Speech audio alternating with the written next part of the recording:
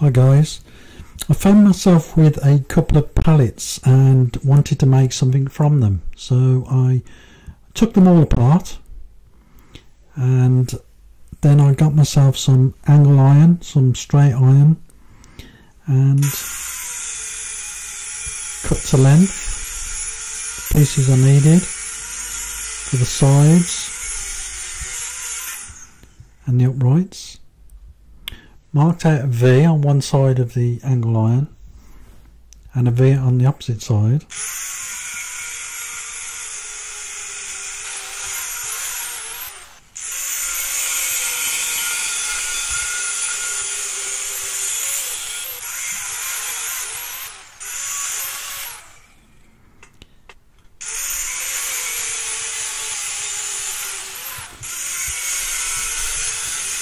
Then I cut part way through on where the V centre is so I was able to bend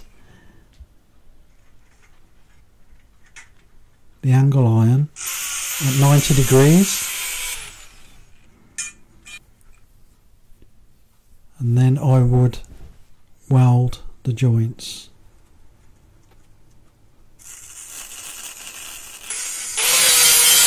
There you have them. I cut out some struts to go across, welded those on, then put the base in, put the sides on, measured out the sides first, then I put biscuits and joined them together, sanded them down. I didn't want to sand the outside too much because I wanted them to, to look rough and, and used.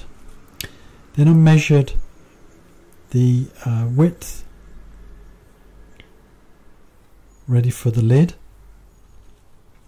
then transferred these measurements onto a piece of paper. Then from the center I come down one and a half inches. This is where I put the compass because I didn't want a, full half circle. I wanted a little bit shallower. So from that point I drew a half circle down to the line which was which would be the bottom part of the lid. Then I divided that into 15 equal parts and drew lines. Then I measured the straight line between each point. I put the measurement down and then added all of these measurements up which would give me the length of the the angle iron I needed all the way around the edge of the lid.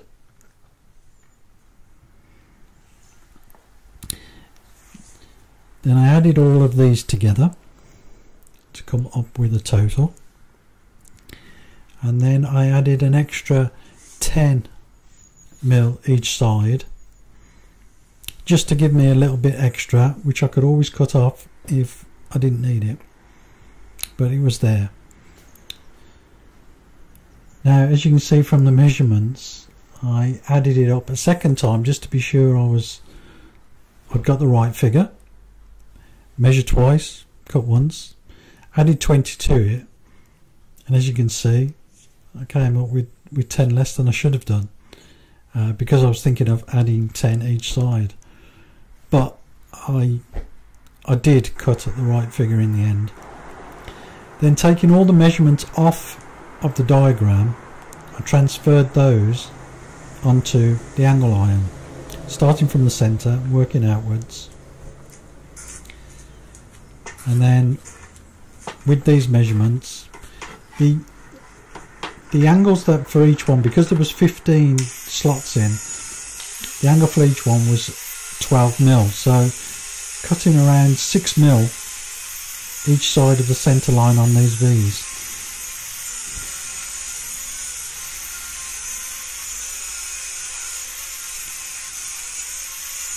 Doing a similar thing to what I did with the angle iron for the box area. Then part way cut you can see on part way cut through on the other side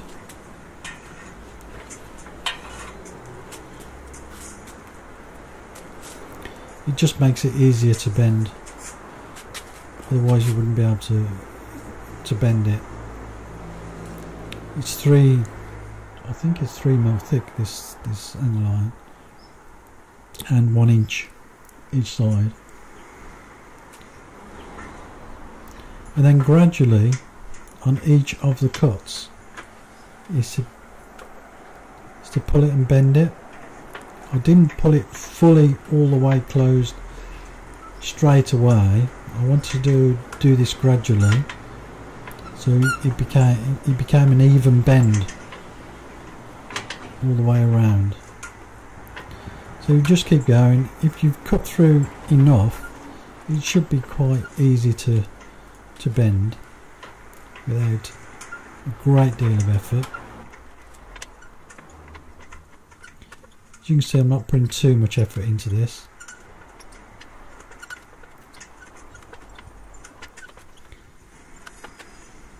And I'll continue doing that until I've got the right bend that I need. And then check this against the diagram that you have. And there you go. It fits. Then I need to weld them up when you're welding the heat will make the, the iron move. So I've put screws in either side to hold it all in place so that it doesn't lose its shape. Then I'll, I'll weld all of these up and grind them, grind them down flat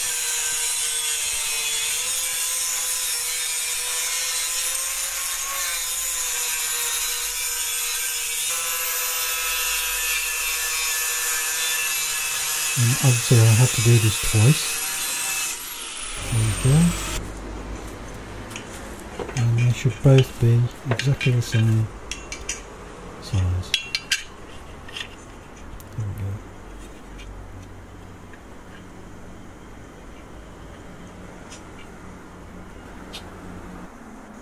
Having made up the box I've added more struts going across joined them all up, welded, ground them down. Done the same with the the lid, putting struts across.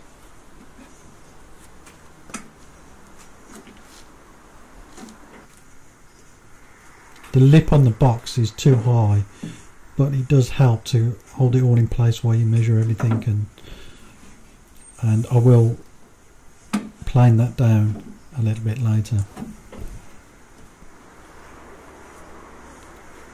You can see I've, I've put these cross members on welded them in place and everything is in line and fits which is great.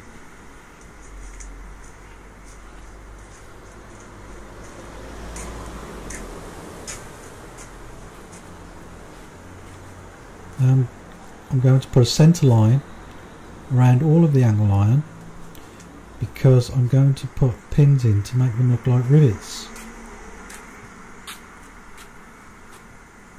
You need to work out how many rivets you want on each side and work them out evenly.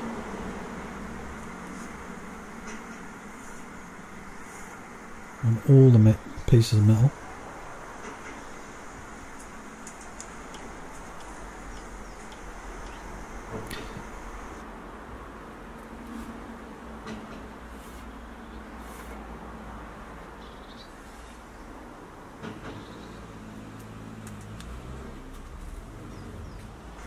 So I've drilled holes which will take the pins.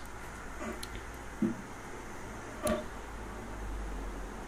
can see on the right hand side and across here I've put the pins and they, they look like rivets are pretty good.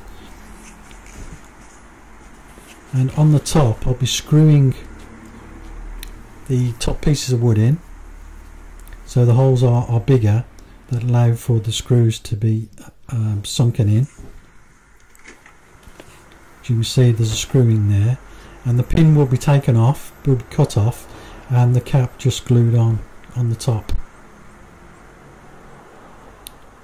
on the sides you don't need to screw in every hole and you can see the biscuit cuts where I'll be putting the biscuits gluing the all these bits of wood together to form the top now all cut each side of these thin strips are cut at 12 degrees because I've got 15 pieces in. If you have more pieces the angle will be slightly different. And I've screwed every single one in and uh, a cap will be glued onto onto the top of each of those screws.